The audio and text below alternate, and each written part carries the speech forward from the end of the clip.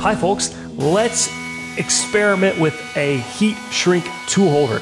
This is a tool holder from Maritool, and this is really cool. Heat shrink is not new to the CNC machining world, but it's another technology that's becoming more accessible to folks like us in smaller shops.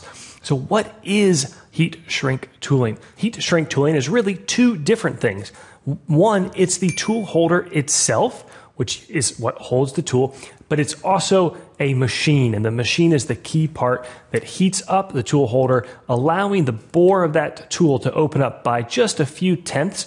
And when it does so, the tool is able to drop in tool holder cools back down and it's an awesome way to hold your tools, almost like black magic. We were excited to test a heat shrink tool holder. We had originally had Maritool put a tool in for us, but then we really wanted to film showing how the machine works. So Maritool was nice enough to let us borrow the machine here that we're opening up. Heat shrink tool holder, normal state, it's cold. We take a look. This is a 0.499 gauge pin. I have an undersized set, and so most undersized sets are two, up to two tenths under. And sure enough, we mic this down. They're taking basically all of that two tenths, 0.4988, one thousandth under half an inch. So does the 499 gauge pin fit?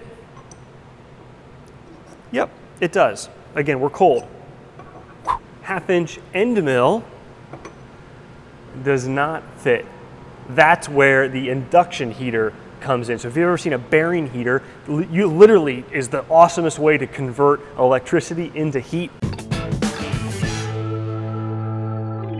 So with that coil inside of this housing around our tool holder, I'm going to hit the heat button and it is gonna dump a lot of heat into that really quickly. I've got a little timer countdown clock and when that gets to zero, this is amazing. That bore has opened enough up enough for me to drop that tool in. If that's not magic, that's about as close as possible. Just awesome.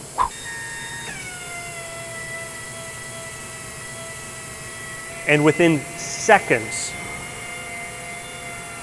it's out. Now you do need to let the tool holder cool down. You don't want to stick a hot tool in your spindle uh, and you don't want to touch this either, but it's already cooled down enough to hold that tool in. That's awesome. So when you're done with that end mill, you need to swap it out, you need to change it, you broke it, same process in reverse, but here's the cool thing. These induction heaters are sized large enough and correctly enough to be able to heat the tool holder quickly enough so that it swells open, it expands open before the heat soaks through the holder and heats up your tool inside. Because if that happens, then you're not gonna be able to pull it out because they're both expanding. So that's why this is really tricky to do on the DIY style. We've seen guys have done it with MAPP gas torches where literally they can use a torch uh, but you've got to heat it up really quickly and you've got to try to heat it up evenly around it. That's what makes it nice to have the machine. So ready to pull this tool out, hit the heat button, count down. You can see a little bit of the smoke coming off. Boop, pull the tool right out. So cool. First time I saw one of these, I think it was uh, IMTS, actually card to our IMTS video here. My question was, well, how many times can you do this? How many times can you heat and cool the tool holder? And the answer that the vendor, I don't remember which booth we were at, but the answer that they gave us was thousands of times. Like it's basically not a limitation of, of the functionality of the product. That's cool. So, what are the benefits? Why would you ever move to heat shrink? Well, first of all, the gripping power around the tool is awesome. It's just tremendous. Here's the other really nice thing you can often get a much smaller diameter of the tool holder itself near where the end mill is. And this means you can reach smaller details or poke the tool into smaller holes compared to, say, the larger diameter that's required on something like this ER32 end mill holder. One of the other benefits is you have incredibly low run out because of the nature of how it's expanding and heating and then cooling that metal around it. It's the total indicated run out is often as low as it ever gets they're balanced better for really high RPMs. That can be really great for small diameter tools. Having that low run out, having the really high work holding can really help with both tool life as well as part quality and surface finishes. We were inspired by uh, Eric over at Avant Manufacturing. I actually just had the chance to meet him and hang out with him at Autodesk University. Really good dude. He put out a video doing some pretty crazy testing on the Maritool holder. We're not going to spoil the results, so click here for a card to check out Eric's video. I thought what we would do is we pulled in the Maritool T into Fusion 360 and we'll make this file available to download card here or link in the video description. But we're walking through four different recipes to see just how hard we can push this tool on our Haas VM3. We really wanted to film this without coolant, but coolant does three really important things. It lubricates the cut, it cools, and it helps with chip evacuation. I thought this might fail, and it sure enough it did.